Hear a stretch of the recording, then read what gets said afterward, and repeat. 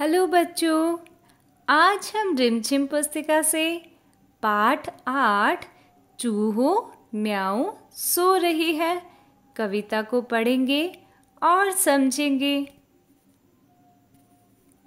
पाठ आठ चूहो, म्याऊ सो रही है। बच्चों, यह कविता बिल्ली और चूहे की है। आइए इस कविता को पढ़ें और समझें।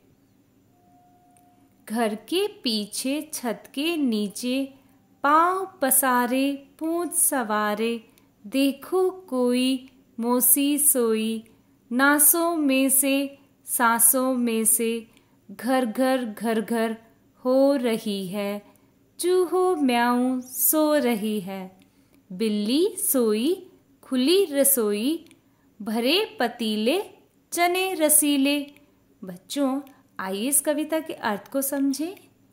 घर के पीछे, छत के नीचे, पाँव पसारे, पूछ सवारे। चूहे कह रहे हैं, आज बिल्ली मौसी घर के पीछे और छत के नीचे पाँव पसार कर, अपनी पूंछ सवार कर सो रही है। देखो कोई मौसी सोई, नासों में से, सांसों में से, घर घर घर घर हो रही है। चूहो म्याऊ सो रही है। चूहे कह रहे हैं, देखो, मोसी सो रही है और उसके नाक से और सांस से घर घर जैसी आवाज़ आ रही है। वो गहरी नींद में सोई हुई है। बिल्ली सोई, खुली रसोई, भरे पतीले, चने रसीले। बिल्ली सोई हुई है और रसोई खुली हुई है। रसोई में चने भरे हुए हैं पतीले में। उल्टो मटका देकर झटका, जो कुछ पाओ, चट कर जाओ। आज हमारा दूध दही है, चूहो म्याऊ सो रही है।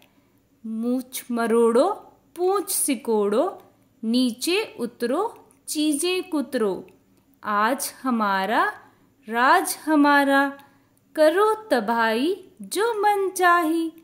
आज मची है चूहा साही। डर कुछ भी चूहों को नहीं है। चूहों म्याऊ सो रही है। उल्टो मटका देकर झटका, जो कुछ पाओ चट कर जाओ।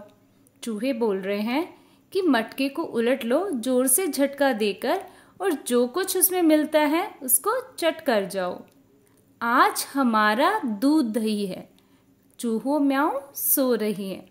आज सारा दूध दही हमारा है, क्योंकि बिल्ली तो सो रही है। मूछ मरोड़ो, पूछ सिकोड़ो, नीचे उतरो, चीज़ें कुतरो। मूछ को मरोड़ लो और अपनी पूछ को सिकोड़ो। नीचे उतराओ और सारी चीज़ों को कुतरो। आज हमारा, राज हमारा। करो तबाही जो मन चाही, क्योंकि आज का दिन हमारा है और आज हमारे ही राज चल रहा है। जो मन कर रहा है, वही करो। आज मची है चूहा साही। आज घर में चूहा साही मची हुई है। चूहों का राज चल रहा है। डर कुछ भी चूहों को नहीं है, क्योंकि बिल्ली सो रही है।